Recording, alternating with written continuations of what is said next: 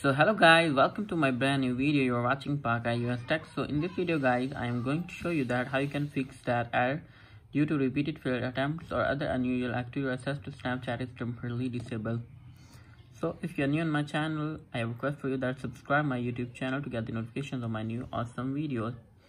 So let's start the video without wasting any time guys. The first thing you have to do go back to your home screen. And after that you have to open your Google and here you have to search for Snapchat Sport. Here we go, Snapchat Sport.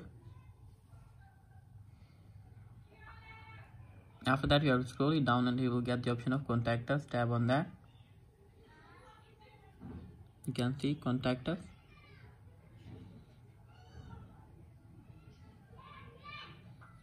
After that, you will get that form. So simply you have to click on I can access my account.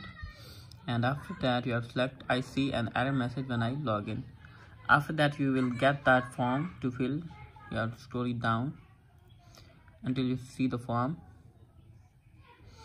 You have to still need help. You have to click on the yes and here we go. So here you have to give your username and after that you have to give email associated with your account. Here you have to give your cell phone number. I'm giving mine you have to give yours. And here you have to give the description. And here you have to write hello Snapchat team.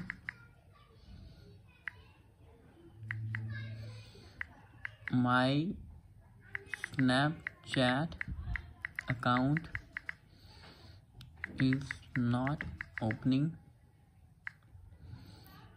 It's showing error message that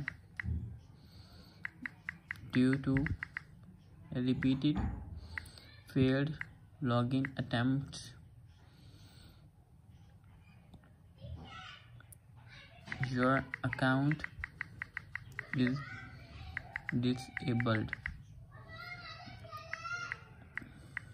so please recover my account. After that guys scroll it down it will get the option of submit. Submit your request. You can see sending your request.